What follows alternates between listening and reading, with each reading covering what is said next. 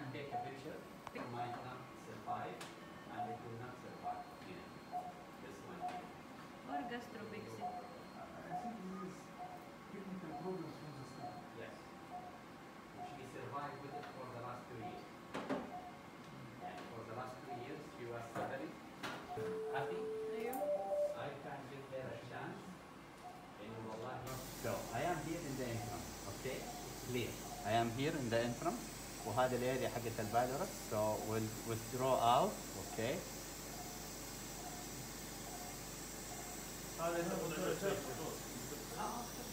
So now this is the third part where is the stricture, okay? تمام؟